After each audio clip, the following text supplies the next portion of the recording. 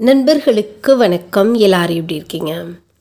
இன்னைக்கு காலையில் நான் மாடி தோட்டத்துக்கு போனப்போ பூத்திருந்த பூக்கள் தான் இது. எவ்வளோ அழகாக பூத்திருக்கு பாருங்கள் இந்த ரோஜா பூ. ஒரு செடி தான் நான் வீடியோ எடுத்தேன்.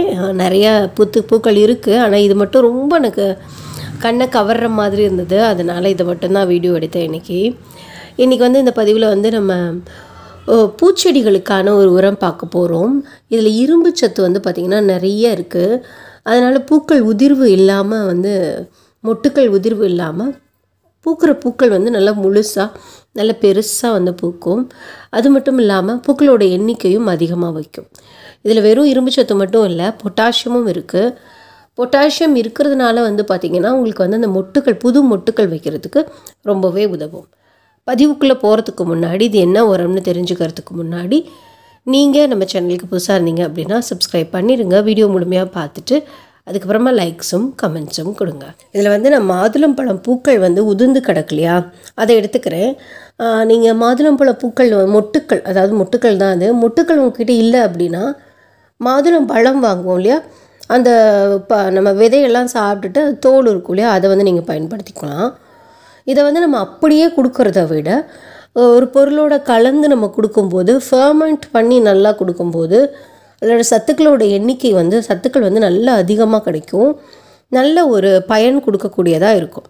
இந்த மாதுளை மொட்டுக்களை வந்து நம்ம நல்லா மிக்சியில் போட்டு அரைச்சிக்கலாம். நல்லா ஃபைனாக அரைச்சிக்கலாம். அதோடையே கூட ஒரு கப்பு புளிச்ச தயிர் வந்து நான் சேர்த்துருக்கேன். இது தாளிச்சிருக்கேன் ஆனால் உப்பெல்லாம் போடாத தயிர் தான். இந்த தயிர் நல்லா புளிச்ச தயிர் இந்த மாதுளம்பழங்களோட நல்லா வந்து மாதுளம்பழம் அந்த ஓட்டோட இல்லை அந்த நான் எனக்கிட்ட இருக்கு இல்லையா மொட்டுக்கள் அதோடு சேர்த்து நல்லா மிக்சியில் அரைச்சிக்கோங்க. அரைச்சிட்டு இந்த கலவை வந்து பார்த்திங்கன்னா பார்க்குறதுக்கு இப்படி தான் இருக்கும். இதை வந்து இருபது லிட்டர் தண்ணியில் இந்த ஒரு கப்பு நம்ம கையில் பாதி நம்ம ரெண்டு பகுதியாக பிரிச்சுக்கலாம்.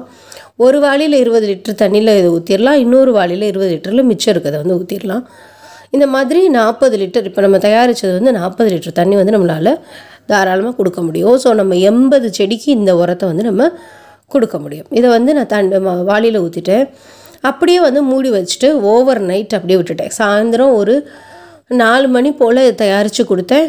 ஊற வச்சேன். அடுத்த நாள் காலையில் ஒரு எட்டு மணி போல் தான் செடிகளுக்கு வந்து ஊற்றுறேன் எட்டு மணிக்கு இந்த சைடு தோட்டத்தில் வந்து வெயில் வராது. பாருங்கள் அடுத்த நாள் காலையில் கலர் எவ்வளோ சேஞ்ச் ஆகிருக்கு பாருங்கள் அவ்வளோ வந்து அயன் வந்து இதில் இருக்குது அது மட்டும் இல்லை பொட்டாசியமும் இருக்குது பாஸ்பரஸும் நிறையா இருக்குது தயிர் இருக்கிறதுனால அதில் நிறைய நுண்ணுயிரிகள் இருக்குது ஸோ நமக்கு வந்து இது பல விதத்தில் பெனிஃபிஷியலாக வந்து இருக்கும்.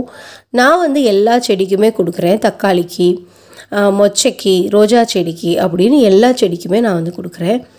ஆனால் பெஸ்ட்டு அப்படின்னு பார்த்தீங்கன்னா பூச்செடிகளுக்கு இது ரொம்ப ரொம்ப பெஸ்ட்டான ஒரு ஃபர்டிலைசர் என்கிட்ட நாற்பது லிட்டர் இப்போ இருக்குது ஸோ வந்து எனக்கு எல்லா செடிக்குமே இந்த சைடில் இருக்க எல்லா செடிக்குமே சரியாக இருக்கும். ஸோ வந்து நான் எல்லா செடிகளுக்குமே இங்கே கொடுத்துட்டு வரேன்.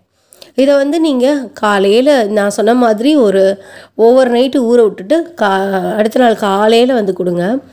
இல்லைன்னா இருபத்தி நாலு மணி நேரம் கூட நீங்கள் ஊற வைக்கலாம். இன்றைக்கி சாயந்தரம் நாலு மணிக்கு வச்சுட்டு அடுத்த நாள் சாயந்தரம் நாலு மணிக்கு கூட இதை வந்து நீங்கள் கொடுக்கலாம். தொடர்ந்து பயன்படுத்திட்டு வாங்க. நல்ல ஒரு பலன் வந்து நமக்கு கிடைக்கும். எப்போல்லாம் நீங்கள் மாதுளம்பழம் சாப்பிட்றீங்களோ அப்போல்லாம் அந்த உரத்தை கொடுத்துட்டு வாங்க. நிச்சயமாக பயனுள்ளதாக இருக்கும். இந்த பதிவு பிடிச்சிருந்தது அப்படின்னா லைக் பண்ணுங்கள் ஷேர் பண்ணுங்கள் இன்னும் நிறைய நம்ம பதிவுகள் போட்டிருக்கோம். அதெல்லாம் பார்க்காதவங்க போய் பாருங்கள் தேங்க்யூ காட் பிளெஸ் யூ